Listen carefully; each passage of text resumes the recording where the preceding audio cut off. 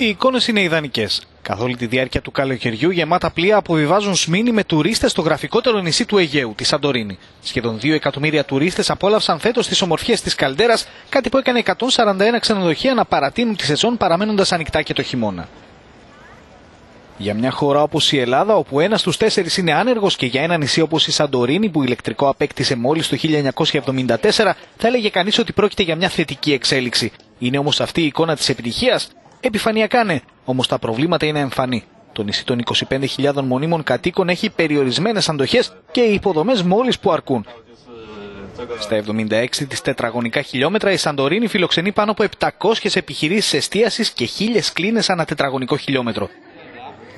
Ακόμη και αν οι κάτοικοι εποφελούνται από αυτή την ανάπτυξη, δεν είναι λίγοι όσοι φοβούνται πως μετά την έκρηξη του ηφαιστείου το 1613, μια άλλη έκρηξη αυτή των αφήξεων απειλεί να αλλάξει τη φυσιογνωμία του νησιού.